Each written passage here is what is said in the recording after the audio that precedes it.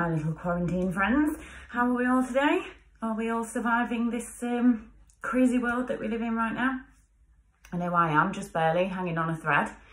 Uh, so today's video, I haven't done one of these before and I know I've sort of like bumbled my way through um, videos before where I've done tutorials and I've kind of thrown a load of products at you. Um, but this one specifically, I'm going to tell you about my favourites and these are my favourite top five foundations. So it's a staple in the makeup bag that no doubt most people use. Um, I know some people don't like to wear foundation, but it's kind of one of those things that you can just slap on just to make yourself feel a little bit better before you um, leave the house for whatever reason.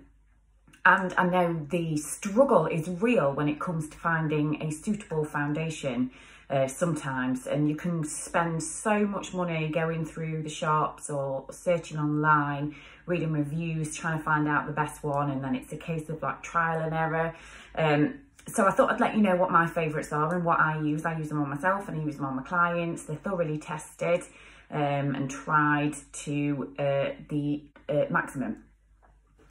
Anyway, so um, I'm going to start with number five and work way up to number one kind of thing. So we're number five then, um, again, it's not that I don't like it and that's why it's on the bottom because I love all of these. It's just finding one that's, again, suitable for your skin type. And my number one is the best one for me. So bear that in mind when you, um, if you do decide to purchase any of these. It's not that it's on the bottom of my list. For any other reason than it's what I like for my skin, you might find that my number five is your number one. Anyhow, right, so my number five, this is the EX1 Invisiwear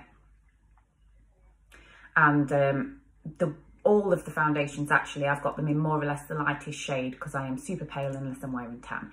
Anyway so the EX1 Invisiwear um, this is a online job. I have not found them in stores and I have no idea what stores you can buy them from. So if you're looking to buy this this is something that you would buy online if you go directly to um, EX1's website this is £12.50. So it's a budget foundation. It's not expensive, not in the grand scheme of things anyway, because um, some can be like super expensive, can't they? Right then, so the good points about this, this is a full coverage foundation and it really is full coverage. So if you've got areas you're concerned about, freckles, acne, whatever, this is great for covering those up. It hides a multitude of sins.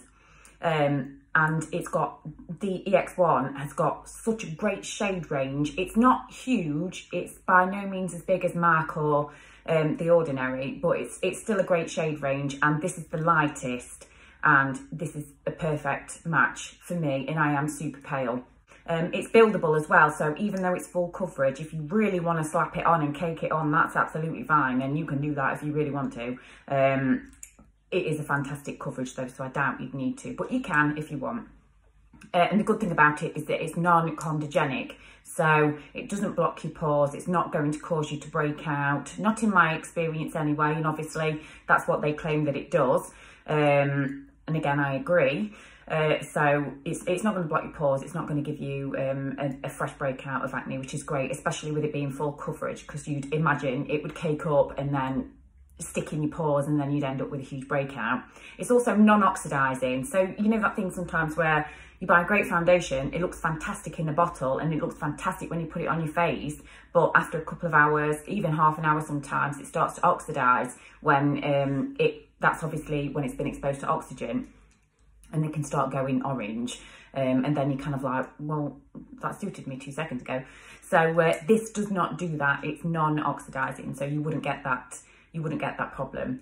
Um, it's also fragrance and oil free as well. So it's good for sensitive skin if you're allergic to some chemicals that they put in it um, for the fragrance, for example, then um, this hasn't got that. And with it being oil free as well, if you do suffer with oily skin, this is going to be great for you. Um, because it's oil free. So yeah, suitable for all skin types. It's also vegan and cruelty free, which is fantastic nowadays because there are still some beauty brands out there that uh, test on animals and some that aren't vegan as well. So you kind of, um, people that adopt that lifestyle or that are looking to buy cruelty-free products can sometimes have a struggle to get something that's really decent. But this, this is, this is both vegan and cruelty free. So that's another fantastic reason to buy it. It's also paraben free, so you're not having to worry about any nasty chemicals damaging your skin.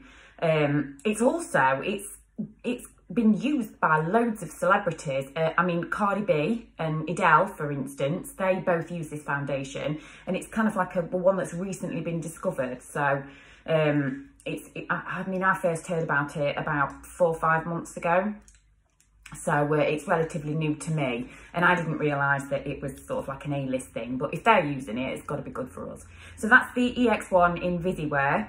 Um, I will link all these foundations uh, at the end of my post in the comments so that you can check them out for yourselves if you want to. So that's the EX1 Invisiwear, that's my number five. Uh, so my number four then, it's an oldie, but it's a goodie. It's the MAC Studio Fix Fluid.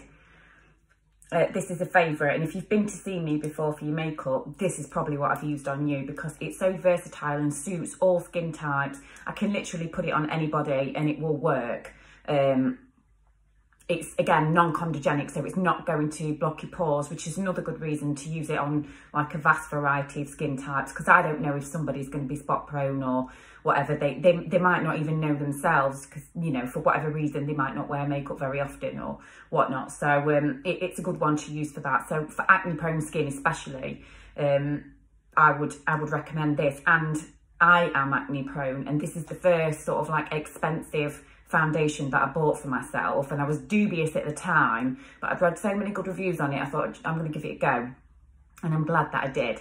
Now this is this is quite expensive. It's £27 from the MAC website and there's always a delivery charge but uh, again if you google it then you might be able to find it somewhere cheaper. I know that the outlet in South Normanton, the East Midlands outlet, they've got a shop there. Um, I think it's a the beauty, no, not the beauty outlet. It's an, it's another one anyway. Um, I can't remember what it's called. It sells all like top end stuff, uh, but they've they have it in there. The only thing is the most popular shade, which is the NC15, which is what I use, is never in stock. So I've been lucky when I've got it from there in the past. But because it's an outlet, it's always a little bit cheaper. So it's always worth having a look. Um, again, because it's MAC, it's got a huge shade range. MAC cater for so many different skin tones. It's incredible. Um, and sometimes it can be hard to figure out. But um, a little tip for MAC is that they kind of, they do like an NC or an NW. Now, the C is for cool and the W is for warm. So in a normal world, um, warm skin tones are uh, yellow and cool skin tones are pink, but it's the opposite way with MAC. So with MAC, an NC will be cool, which is yellow, and NW will be warm, which is pink. So when you normally buy foundations from anywhere else, it's the other way around. So that's something to remember. Uh, but they do cater for all the different skin tones. Um, I go with the NC15. Yellow tones seem to suit most people. But if you've kind of got like um, a really rosy complexion, then you're going to be looking to want uh, more of a, a warm uh, where MAC's concerned anyway, a more warm um, foundation. So that's something to remember uh, with them. Now, this is also a, a, lightweight foundation. So whilst it's full coverage, I didn't mention that, it is full coverage. Well, it's kind of like medium to full, so it's buildable. You can start with a nice, like sort of medium coverage and build it up um, as you go along and um, but it's a lightweight formula so it's not going to go cakey on your skin. It doesn't feel heavy. It's just sort of like a nice and it's a nice natural looking um, foundation as well the way it sort of fits to your skin. And it, it claims to be pore refining as well. You guys know how I feel about pores. But um, this can kind of like help to conceal them if you will uh, whether it actually refines them or not. Who knows uh, it's breathable as well as being sort of like non-comedogenic. Obviously, it doesn't block your pores, so it's breathable. So you're not going to keep any sort of sweat or oil stuck in your skin, which is going to lead to breakouts or, you know, bad, bad skin. Um, and uh, it is oil free, but it's hydrating as well. So I know those two things probably don't sound like they go together, but they do. It's oil free, so it's not going to cause you to be super oily, but it is hydrating. So it's going to keep your skin nice and soft. And they claim that that's um like an eight hour thing. But uh, I don't know. From wearing it myself I never find that it sort of goes dry or anything like that. It, it, lasts for entire an entire day. And obviously my clients will come sometimes in the morning to have the makeup done for the evening and they have never had any complaints. So uh, that's a great one. It's also um, SPF 15 as well, which is good. Uh, sunscreen on your face, well, on your body, but on your face especially, is hugely important um, to prevent, you know, obvious, the obvious skin cancer and um, pigmentation, hyperpigmentation in your skin. Um, you know how you notice that your freckles come out massively in the summer? It's just all pigmentation in your skin, which is brought out um, by being in the sun. So an SPF, wearing an SPF, especially in your foundation, is always advised and it's good for helping the pigmentation. So that's that's that, the Max Studio Fix Fluid, uh, 27 quid, definitely worth the money. Um, but again, shop about, see if you can get it cheaper. Right, number three is um, a foundation you might have heard me talk about before. It's the Ordinary uh, Coverage Foundation.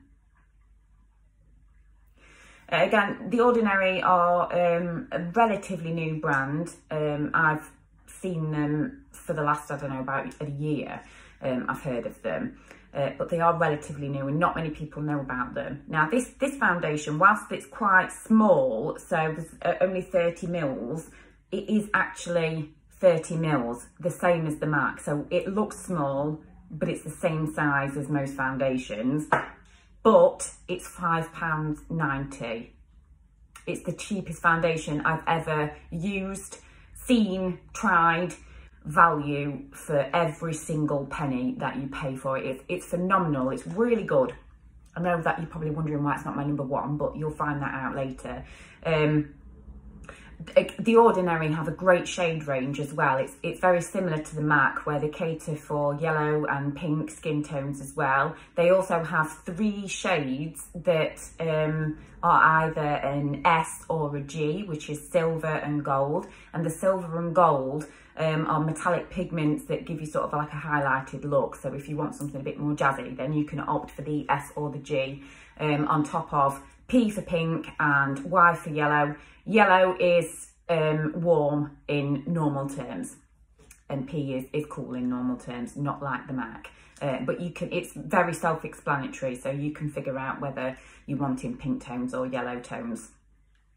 Um, it, this is also vegan and cruelty free. That's another great reason to buy it. It's also an SPF 15. So again, another great reason to buy it and it is also oil free, gluten free and nut free. So if you are super sensitive to um, products on your face, i.e. if you've got allergies to nuts or gluten, then you're going to be safe with this. And there might be people out there that have that issue of not, you know, not just eating them, but being able to wear them as well. And if you're struggling with that, I would definitely recommend going for this um, because all that worry is taken away from you. Um, it's suitable for all skin types. So whether you've got oily skin or dry skin, it's going to be good for you. Always remember though to prime accordingly to your skin type because that will help the way the foundation goes on massively. Um, it's full coverage and buildable so you can I mean it says it's full coverage but I would say it's, it's probably a medium to full coverage because you can build it if you just put one layer on it's going to look quite you know sort of like medium-ish sheer-ish um, unless you sort of like you know put a couple of layers on and that doesn't make it cakey. Um it it's just a case of smoothing out what you've got on there and building it up till you've got the level of coverage you want. But it's a lightweight very blendable formula. So like i say you don't have to worry about it being um cakey on the skin even though you're having to sort of like build it up. And it's very natural looking as well so it doesn't look like you've got a ton on your face. Um, The Ordinary also do a serum foundation if you're looking for something a bit sheerer.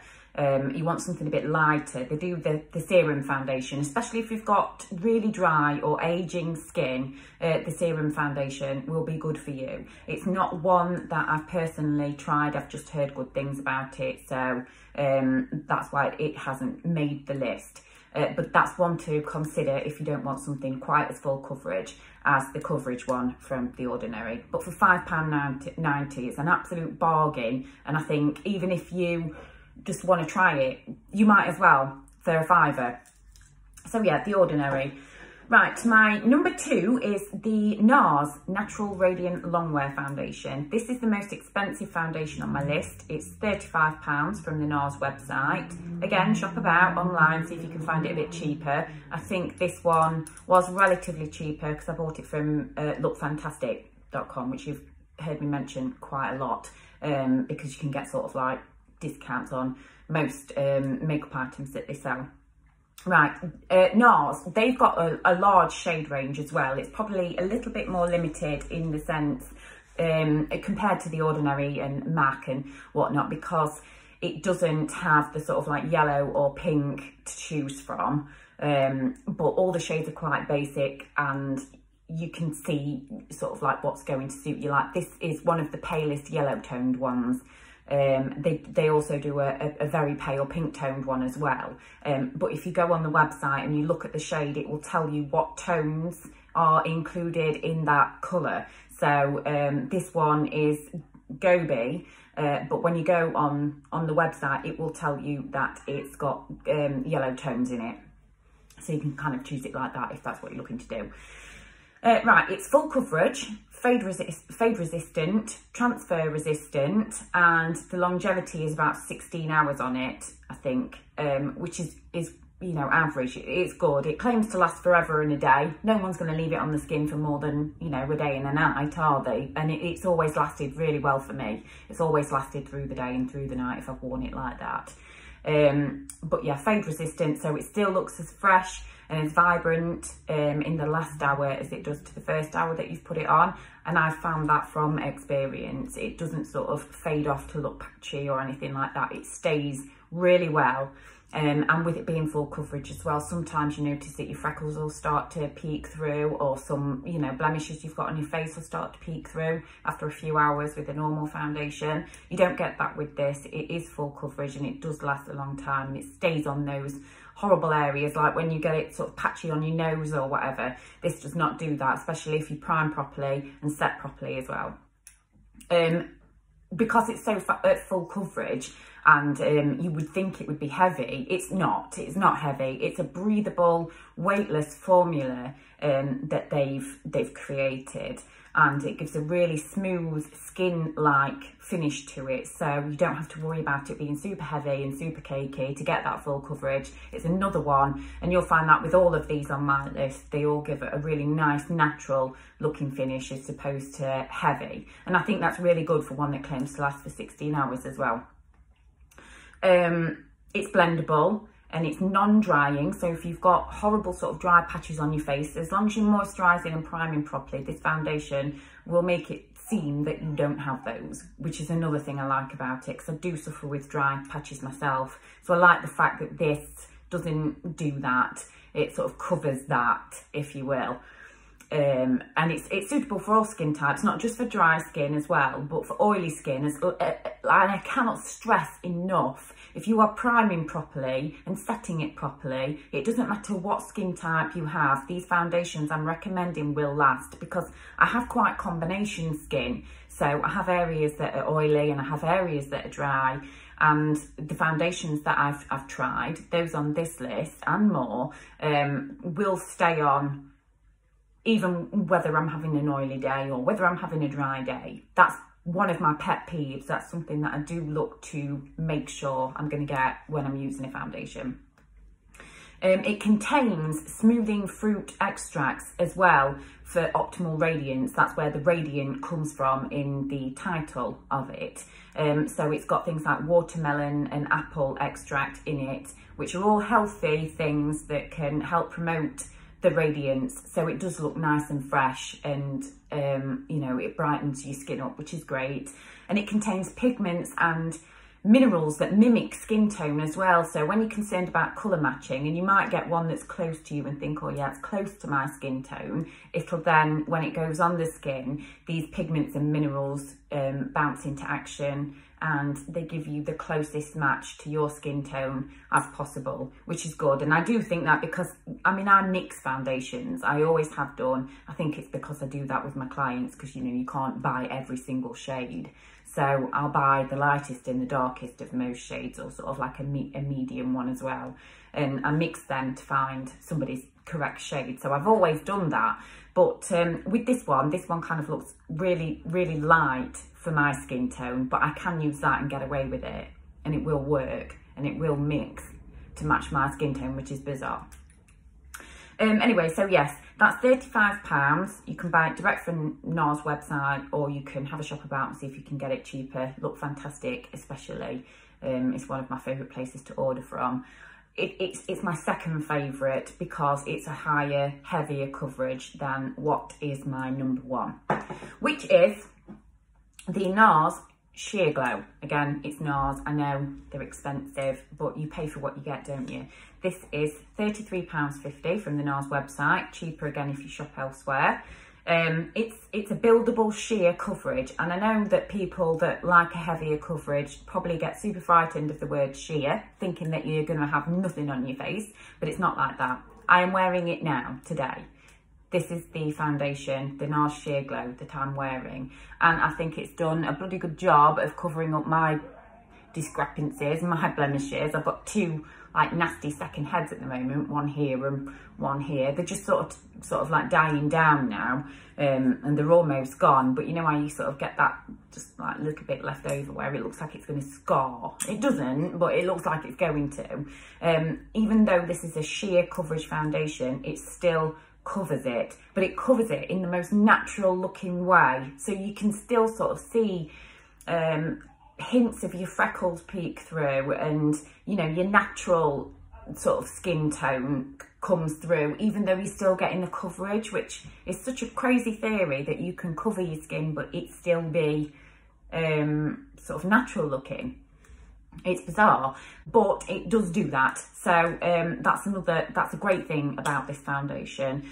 Um, and it's buildable, so you can also like build that coverage up just a little bit if you want, but it's still always going to remain sort of natural looking and, um, you know, sort of sheer.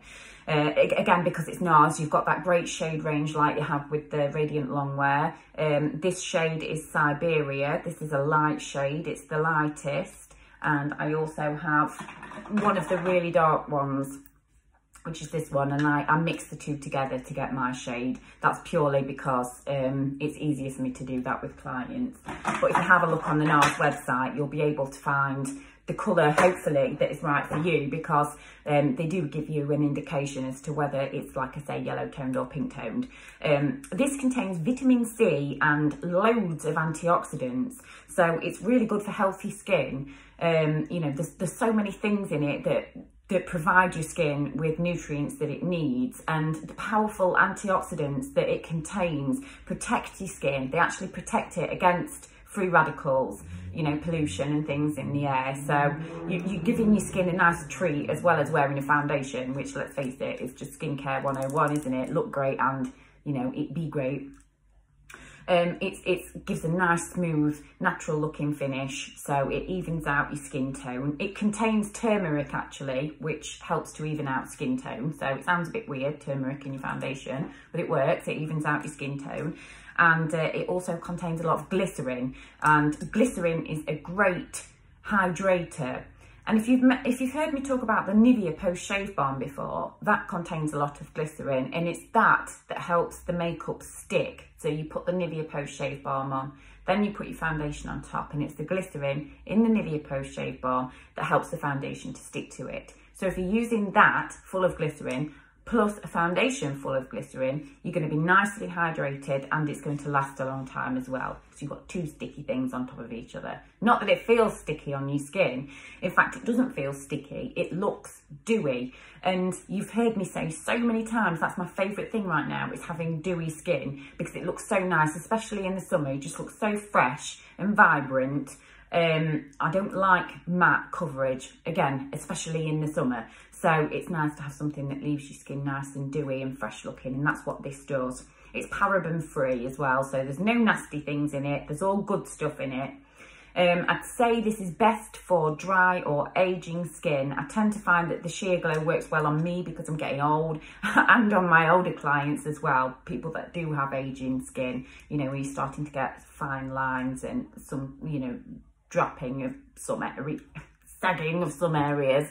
Um, it looks nice, it works well, and it helps to make you look and feel a little bit younger, which is nice. Also, if you have dry patches, like I said before, as long as you're priming correctly for your skin type, then you can get foundations to work for you. And I know I've heard some people in the past say that this foundation clings to dry patches.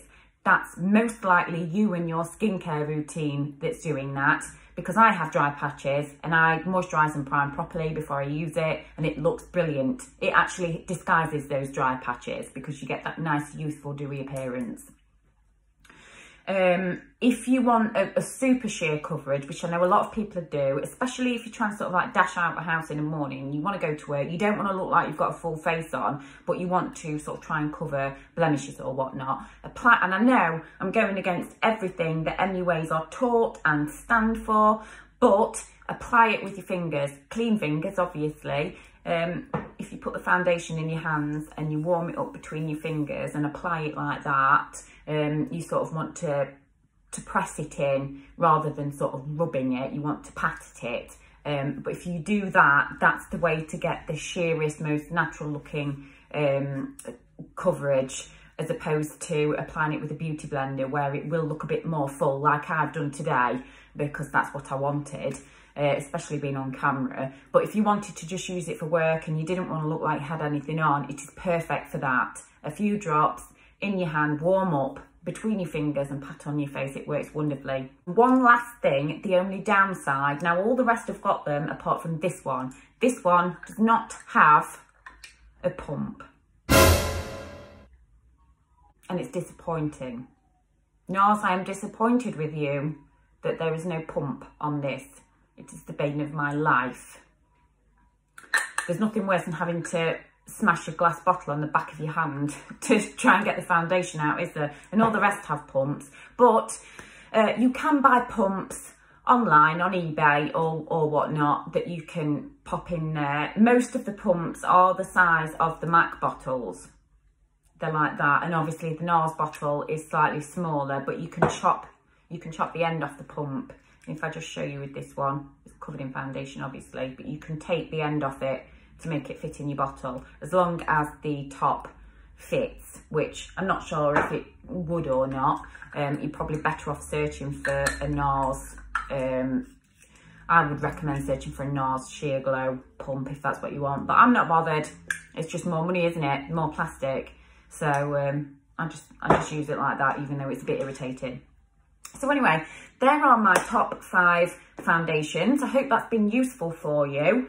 Um, they're all sort of a mixture between top end and budget and it's all about finding one that works best for you and if you're wanting to try cheap ones then the ordinary is perfect if you want to splurge then NARS definitely one of my favourite brands at the moment and I hope that some of the information that I've given you is enough for you to decide whether you want to try it or not. I will leave everything linked below so you can go and have a look yourself if you want to.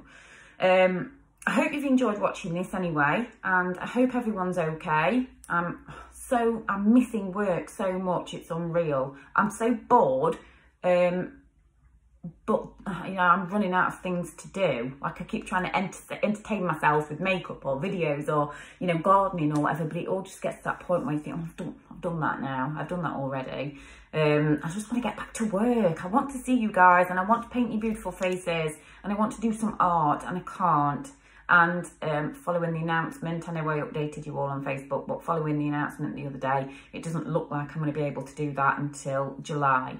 So my diary is open provisionally now for July. Um, if you want to make an appointment, that's absolutely fine. I'm not taking deposits because it's too uncertain. So um, if you want to make a, an appointment, that's fine. You can do. Just get in touch with me and we'll get it booked in the diary for you. Um, fingers crossed we can open then. I don't know if we will and I'll definitely keep you all updated on that. But take care of yourself, please. And, you know, um, look after you and your own. It's really important right now. Everyone's starting to get back out and go to work and stuff and it's dead scary, but our economy needs it. We need to we need to move forward. We need to do something about what's happening um, and just look after yourself as best as you can. Take care and hopefully I shall see you all soon. I'll be back with another video, no doubt. No idea what I'm going to do. Running out of ideas. If you have any, let me know. Comment down below. Other than that, you take care and I'll see you soon.